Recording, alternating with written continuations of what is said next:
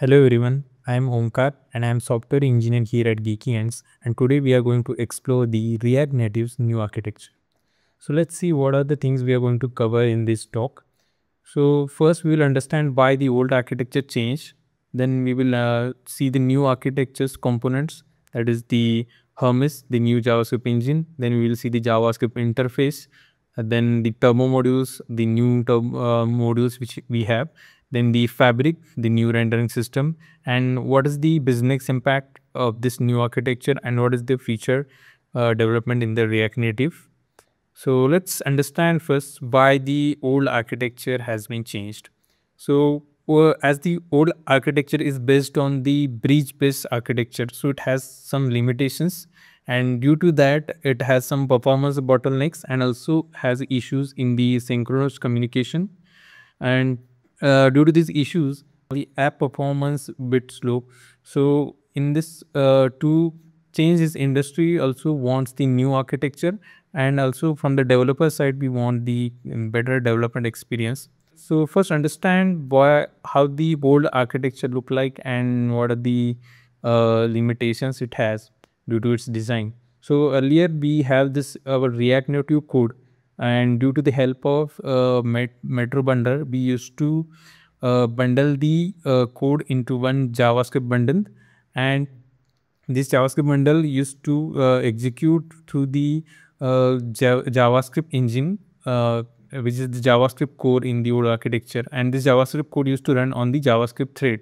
Then we have this bridge to communicate with this native world, and so what we uh, used to do so whatever the code which we have uh, then through this bridge we pass to the native ui to as this two are the different words the javascript and the native ui can't understand the exact uh, JavaScript code through the native side. So we will pass the bridge through the serialization. So we will convert this JavaScript object uh, with serialization into JSON object, and then again this uh, JSON object will deserialize here to uh, native side to understand the code in through the native side. And the Yoga library helps uh, here uh, to layout the components. So as the JavaScript side in the React Native style sheet, we used to uh, use the flexbox to render the uh, to lay out the components. Uh, so native UI uh, doesn't understand the flexbox. So Yoga library helps to convert these uh, flexbox into the particular native UI that can be the iOS or Android, and it will lay out the components on the native side.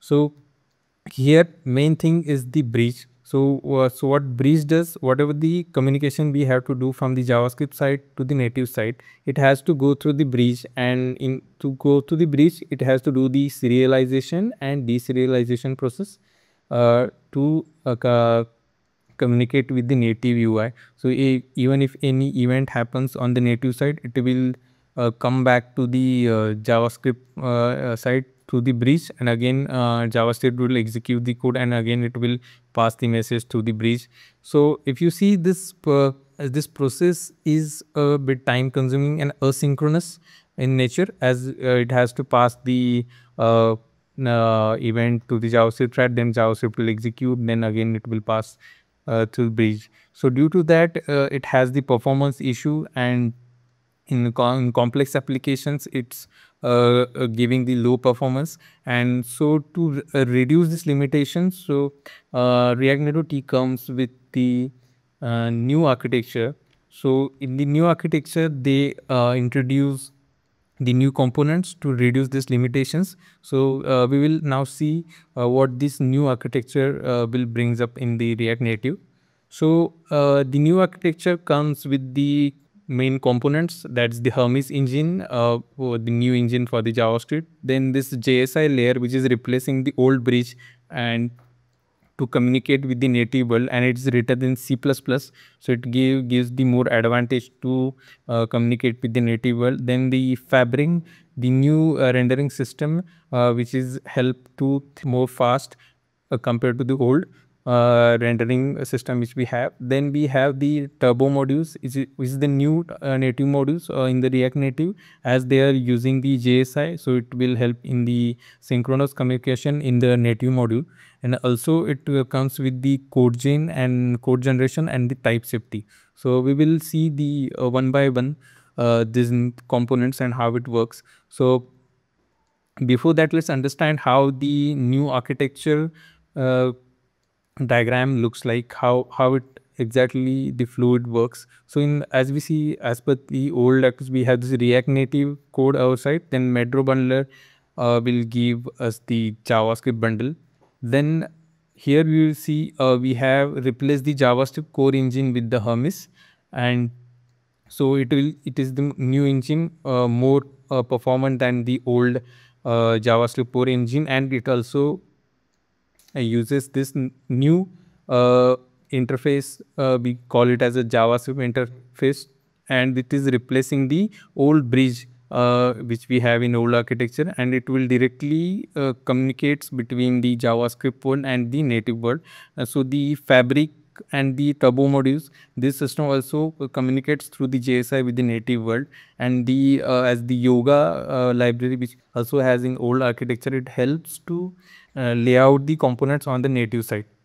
So uh, let's understand the how this each component uh, works and how it uh, helps to provide the better performance compared to the old architecture so let's understand the Hermes. So Hermes is the new open source uh, JavaScript engine and it is specifically optimized for the React Native. So uh, as it's optimized for the React Native, so due to that it gives uh, some better uh, performance compared to the old uh, JavaScript core engine which we have. So what we do, so whatever the bundle JavaScript code we, which we have, so we, uh, we are calling it as a bytecode, we will provide the, to the Hermes and Hermes will execute that code and it will use the uh, JavaScript interface to communicate with the uh, native platform and so whatever the JavaScript code which we have, so it will be uh, to the JSI, it will directly uh, communicate with the uh, native platform. with the help of direct communication, it will execute the code without doing old serialization, deserialization process. So due to this, we have some performance improvements due to the Hermes as it will uh, it has the improved the time to interactive it's basically the uh, app opening time which we have. So whenever the user opens the app and interact with first so the that uh, app starting time has introduced uh, improved uh, due to hermes then we have the uh, due to the Hermes, we have the smaller app bundle size as it's optimized for the React Native. So uh, it helps to reduce the app size and also the as it's communicating to the JSI, it will help to reduce the memory consumption uh, while executing the JavaScript code. Then uh, we have the JavaScript interface that is JSI. So it helps to direct communication with the native layer. And as we see, it's direct. It's written in the C++. So uh, due to uh, it's written in C++, it gives the uh, layer to communicate between the native site and the um, JavaScript side. So how it will see uh, works, you'll see. So suppose from the native side, we have this uh, native object uh, which coming from this its own native module. So the JSI it will holds the reference of this JavaScript object, uh, the native object into the JavaScript side. So in JavaScript side, we have the reference of this uh, native side object, and due to that, uh, we can directly access the uh, this host object to the reference uh, with the help of JSI and suppose this whole host object has some methods on it then we can call those method on the JavaScript side uh, with the help of the uh, JSI and uh, and this host object we can call this method and this method will, will be get execute on the native side thread. So uh, due to this this helping in the direct communication and as the JavaScript can concurrently uh, execute the uh, operations on the UI uh, thread uh, on, that is on the native side and uh, it will directly synchronously communicate uh, communicate with the native side code. Also, it will reducing the the overhead which we used to have in the serialization deserialization portion earlier So as provides a direct communication, so it will become uh, fast. Then the code sharing. So as it's written in C++, so the uh, whatever JavaScript code we are uh, we are writing on our side, so it will be useful on the multiple platforms uh, through the React Native. So code sharing can be the helpful.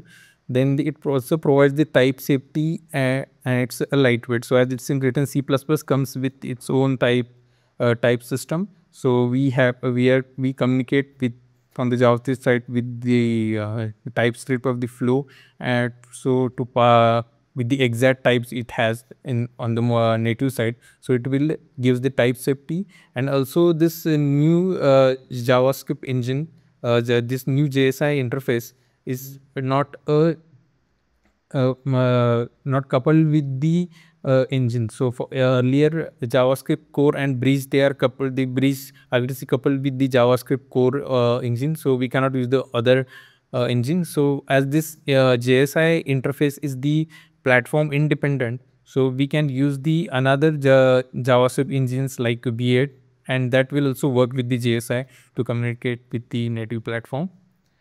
Uh, then we will see the turbo module. So, so the, this new uh, native modules which we have, we are calling it as turbo modules, are the overcoming the limitations of the bold native modules as it is using the uh, JSI to communicate directly with the native site.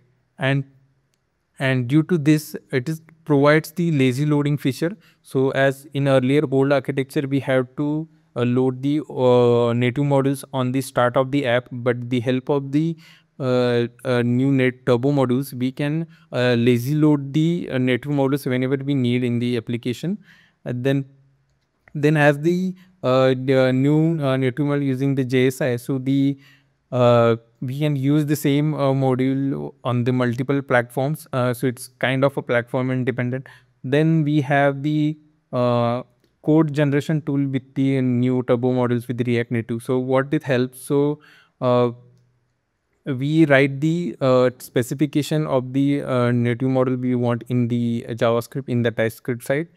And then as the TypeScript has with the types and so uh, it will generate the native boilerplate code uh, for that particular native model. For example, if we are uh, writing the native module uh, for the local storage with the help of turbo module in the React Native, so we will write the specification uh, for that more uh, local storage, like for example, the set item, get item, these methods, and with the types associated with it. So due to this, this will uh, lead by the code generation tool and it will uh, automatically create the boilerplate uh, code for the particular platform for example for the android or the ios and we can use that code and we can add our own logic on top of that and we can uh, create our own uh, uh, native module to communicate with the native side.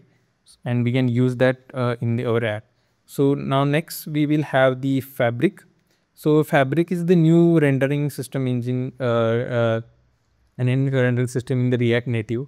So the so the core principles to in the uh, Fabric to the, the more logic in on the C++ side, so we can communicate with the native side, so the JSI in a better way. So due to that, it's improved the interoperability between the JavaScript side and the uh, uh, platform side that is the native platform Android or iOS. So how it does is the Fabric provide uh, has the render pipeline uh, with the three phases, uh, phases that is the render phase, commit phase, and mount phase.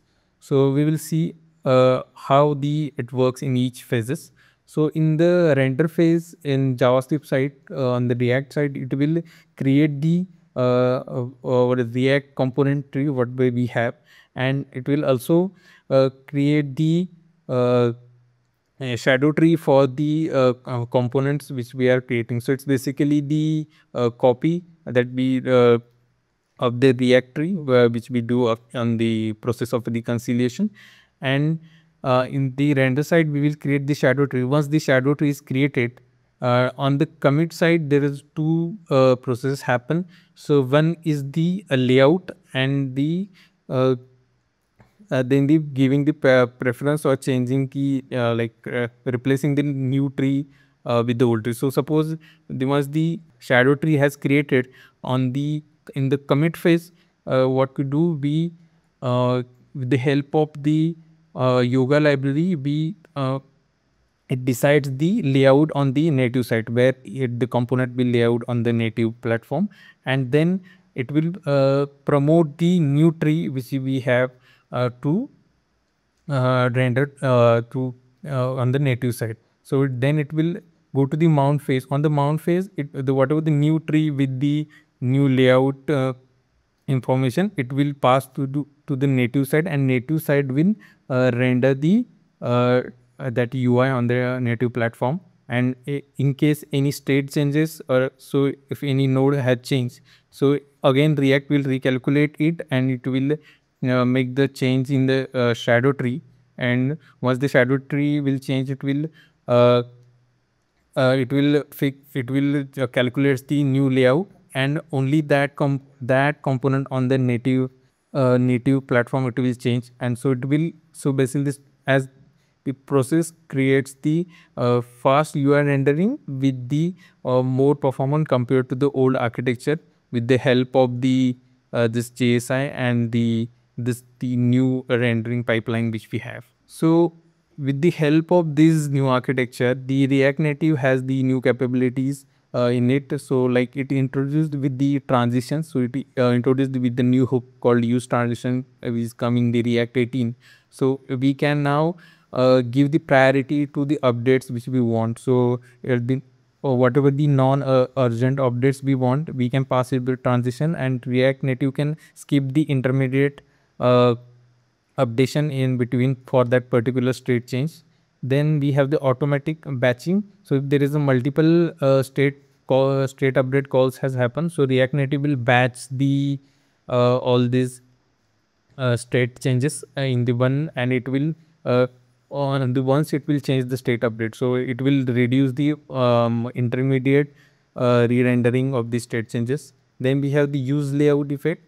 So uh, with the help of use layout effect, earlier we used to uh, draw, we render the UI on the uh, on the screen. Then we used to in the use effect we have to change the state, and then we will again we will change the UI on the screen. And now with the help of the use layout effect, with the before the changing before the painting on the screen, we can directly synchronously change the uh, UI and then we can render that UI.